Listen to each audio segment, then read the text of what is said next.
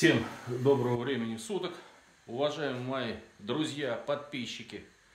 И сегодня я вам покажу, как приготовить рис с курицей. Прошу заметить, не рис и курицу, а рис с курицу, с курицей. Это довольно простой рецепт, несложный, каждый может это сделать. Приступаем.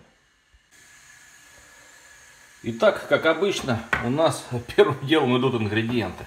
Все, что нам нужно, это вот луковица, довольно большая, курица, у меня голени, могут быть любые части курицы. Хотите, используйте бедра, но их все-таки нужно будет вам порезать. Есть у меня приправа для курицы. Любой вы можете использовать, у меня такая. Ну и, соответственно, рис. Первым делом, что мы делаем, первым делом, что мы делаем по тавтологии, мы с вами сейчас замочим рис. Вот у меня есть рис, самый простой рис круглозерный, я его купил за 30 рублей в магазине. Количество риса вы сами регулируете. Если у вас много курицы и большая тара, вы его берите побольше. Я вот взял, ну сколько здесь, килограммовый часть, треть и первым делом мы его замачиваем с вами и промываем в воде. Нам нужно промыть его как на плов, чтобы вода была у нас прозрачная. Вот я прям поставлю ее на мелкий. Сюда прям пусть она потихонечку льется. Я выключать не буду. И промываем ее. Ну и сейчас мы будем с вами жарить курицу.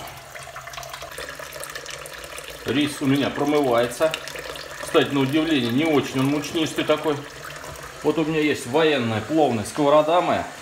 Она, конечно, тефлон тут давно умер, скончался смертью храбрых в процессе эксплуатации. Но она такая тол толстостенная и глубокая достаточно. Немного похожа на казан чуть-чуть. Все, достаточно наливаю я масло.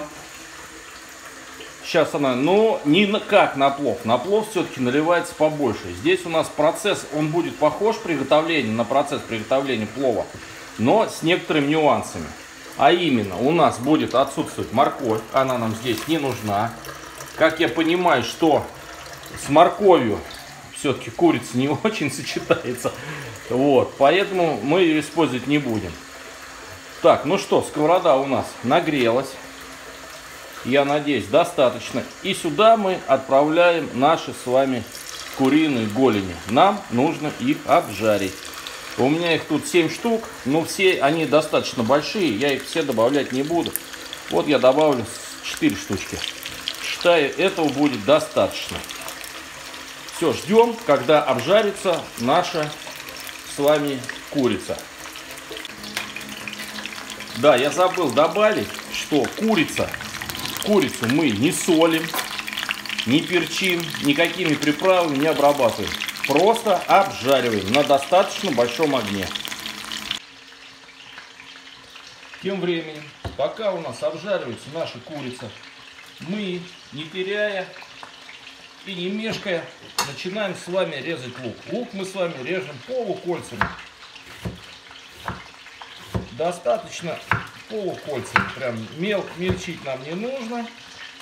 Он это у нас все равно лук будет обжариваться и тушиться в процессе приготовления. Все, вот эти вот части нам не нужны. И режем с вами полукольцами наш красивый лук. Я взял одну достаточно большую луковицу. Все, вот это количество лука на наши 4 с вами окорочка, ну, голени, будет достаточно. Процесс у нас обжарки идет с вами. Ждем, когда все это обжарится. И тогда, как вы правильно догадались, мы сюда добавим лук.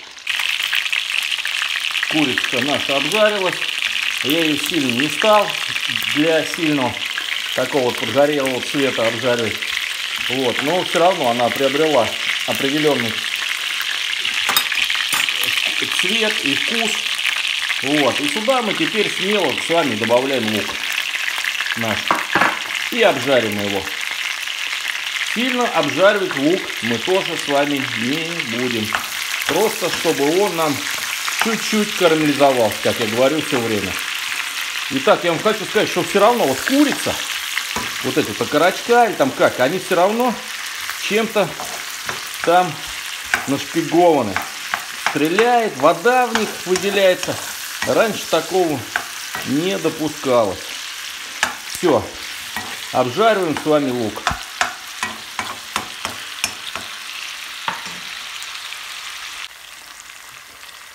Я лук сильно не обжариваю, не делаю черным. Вот чуть-чуть он прям схватился, чуть-чуть карамелизовался. И сейчас сюда мы с вами смело, я добавляю, мы с вами, я добавляю.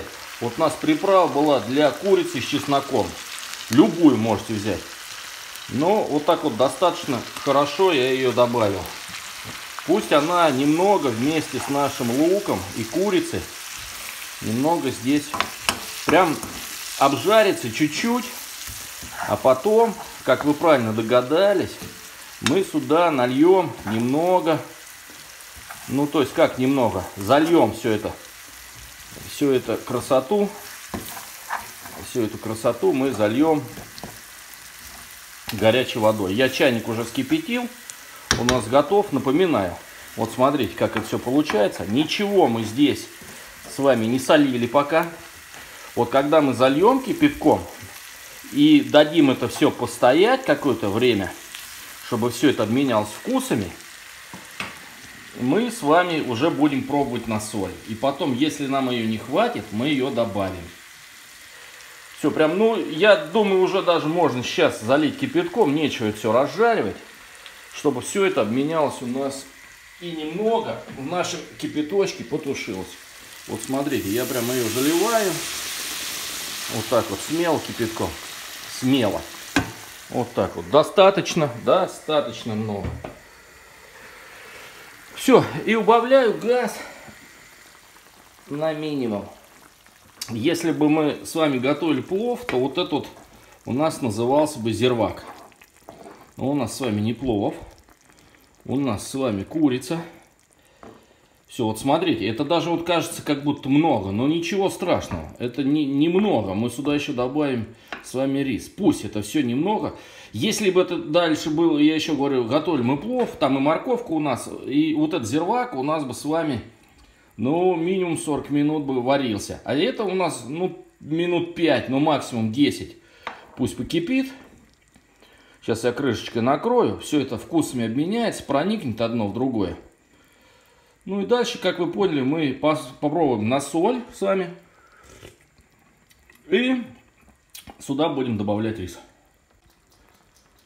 Прошло у нас где-то минут 10. Я попробовал уже так называемый зервак. Он достаточно соленый. Солить я больше не буду. Не буду.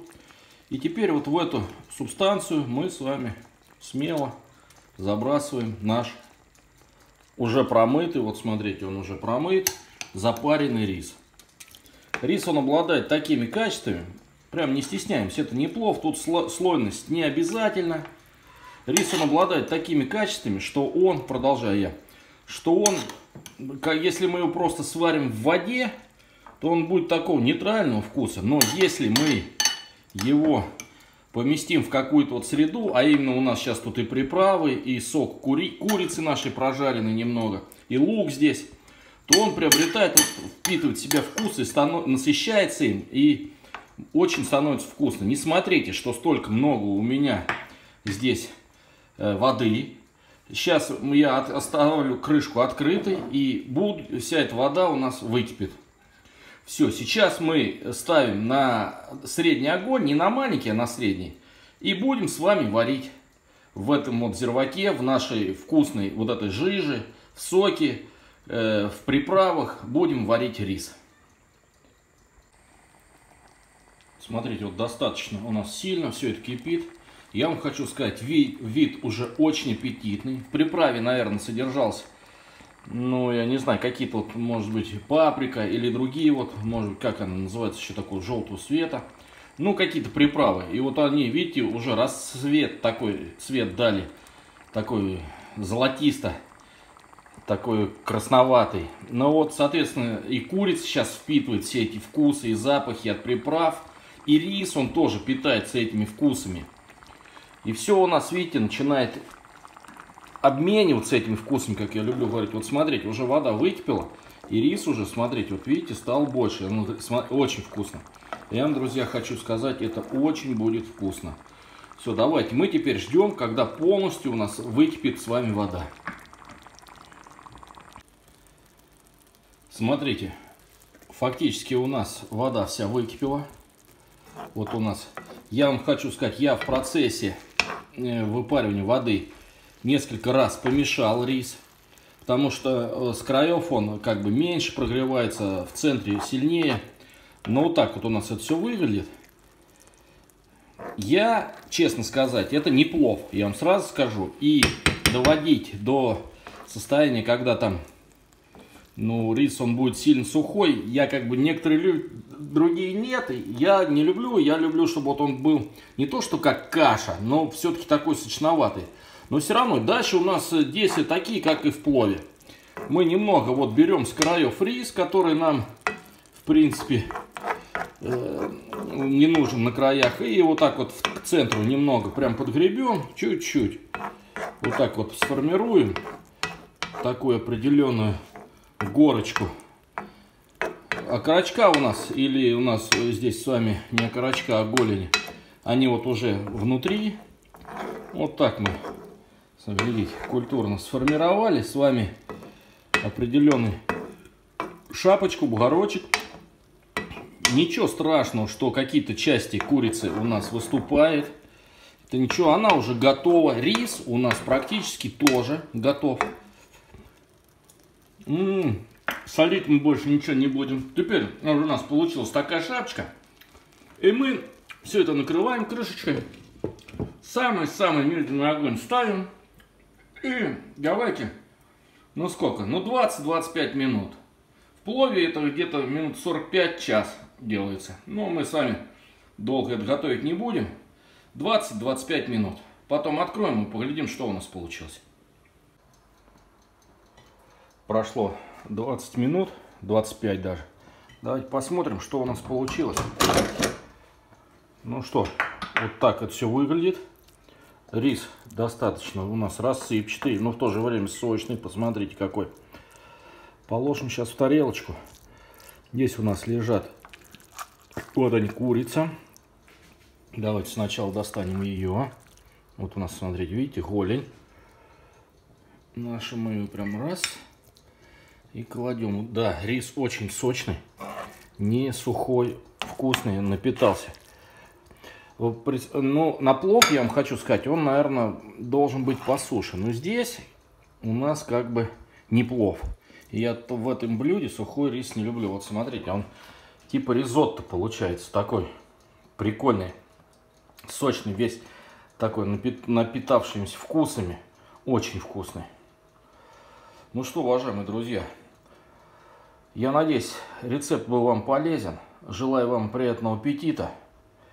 Всего самого хорошего. И что самое главное, здоровья. Пока.